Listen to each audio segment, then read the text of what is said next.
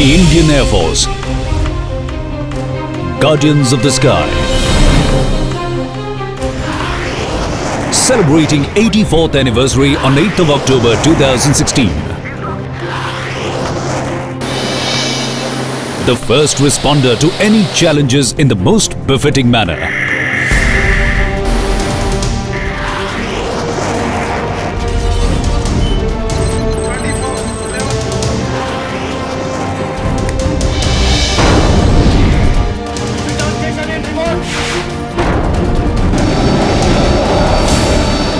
Fully prepared to undertake full spectrum of air operations.